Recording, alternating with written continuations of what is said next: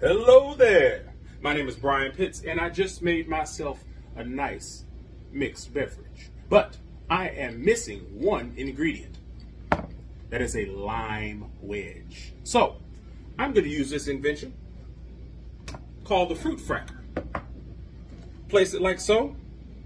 Drop your fruit in. Make sure it's centered on the top.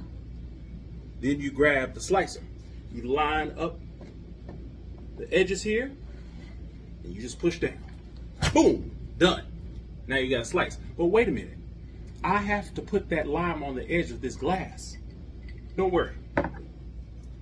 One last step. Put this in. Make sure it goes in the slot. And you just twist it. Boom. Done. Watch this. Any one I choose, I'm not even gonna look. I'm not even gonna look. Boom. Let me just choose this one. Take it up. Boom right on the edge, straight like that. Now we can drink. Take care.